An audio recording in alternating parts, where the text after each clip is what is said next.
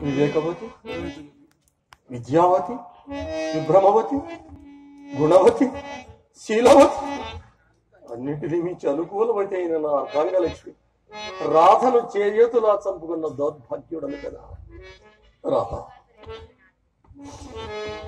ఎంత పాపము చేసితే తాలిమి భూమికి ఈడైన దాని వివేకమునై మదాల సంగోమిన శీలమున పుట్టిన యూటికి మెట్టినూటికి మేలు ఘటించుదాని. నన్ను చిన్న భట్టి భజించుదాని. ఇల్లాలిని చంపుకోని ఇల్లాలిని చంపుకొల్లుతిని